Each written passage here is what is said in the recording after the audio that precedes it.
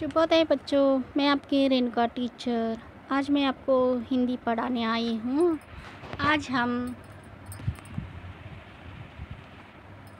अध्याय चार, तीन अक्षर वाले शब्द, भाग दो देखेंगे। भाग एक में देखा हमने कैसे तीन अक्षर शब्द बनने बनते हैं और उसका अर्थ।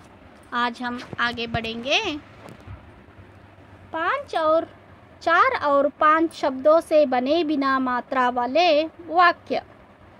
भरत नहर पर टहल, भरत नहर पर टहल, चल।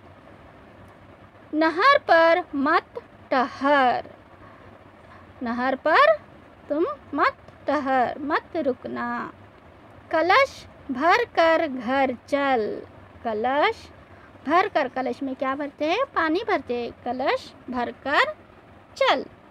मदन घर चल कर पढ़। मदन घर चल कर पढ़।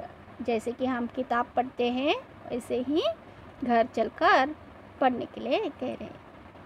इस सड़क पर मत टहल। इस सड़क पर मत टहल। अब घर चलकर पढ़। अब घर चलकर पढ़।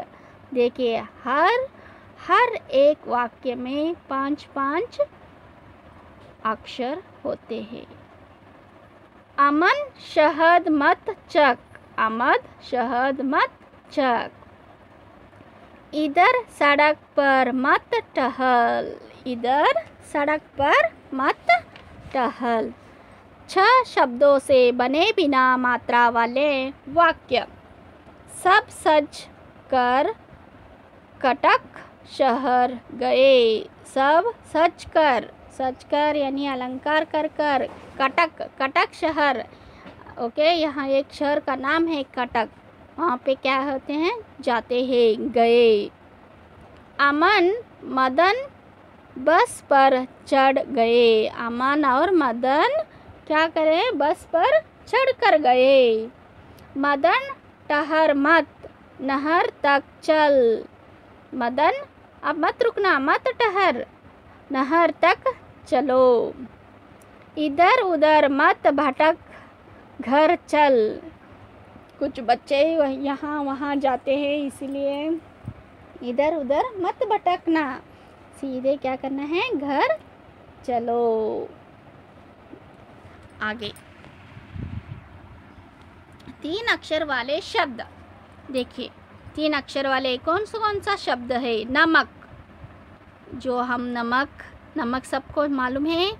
हम खाने में क्या डालते हैं? खाना बनाने के समय नमक डालते हैं। नमक डालने से खाना स्वादिष्ट बनता है। शहर शहर।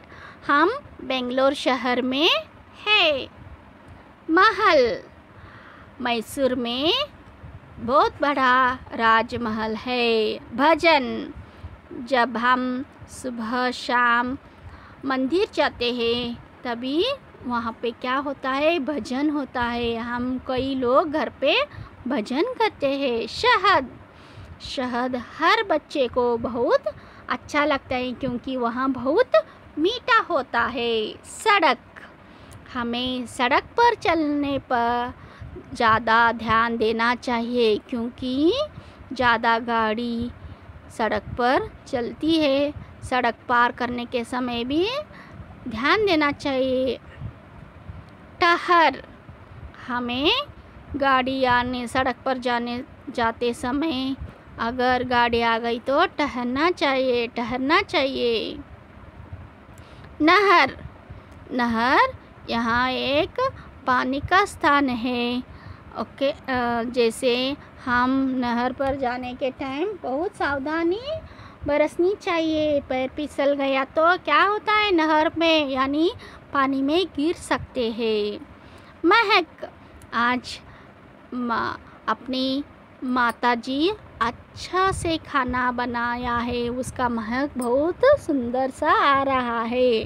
और फूल का महक सबको मोह लेती है, सबको पसंद आती है। आखिर में पढ़। ओके, हम इस अध्याय चार को अच्छा तरह से पढ़ना चाहिए। इसलिए बच्चों, तुम भी इस अध्याय चार को ठीक से दो बार अच्छे से पढ़कर याद कीजिए।